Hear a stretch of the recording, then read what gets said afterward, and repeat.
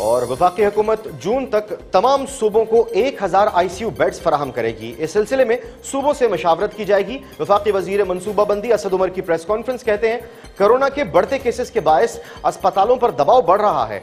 जुलाई में टेस्टिंग की इस्तेदाद कार में मजीद इजाफा किया जाएगा। कोरोना वायरस से बचाव का वाहिद हल एहतियात है। सेहत के निज़ाम में सूबों से ताउन किया जा रहा है।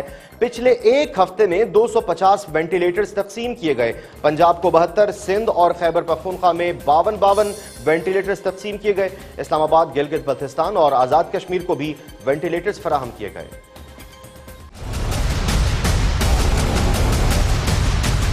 वफाकी हुकूमत जून के महीने के अंदर एक हज़ार आईसीयू बेड्स जिनके ऊपर ऑक्सीजन अवेलेबल होगी उसके इजाफे की ज़िम्मेदारी ले रही है।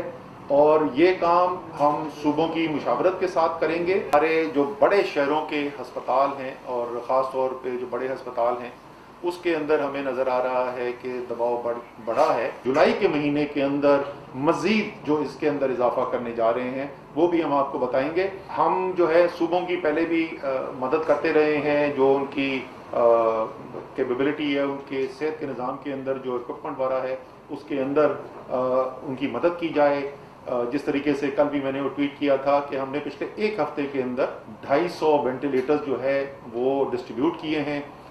उसके अंदर पंजाब को बहत्तर सिंध को बावन केपी को बावन और बलूचिस्तान को 20 वेंटिलेटर्स गए थे। उसके अलावा आज़ाद जम्मू कश्मीर गिलगित बल्तिस्तान और इस्लामाबाद के अंदर भी किया था।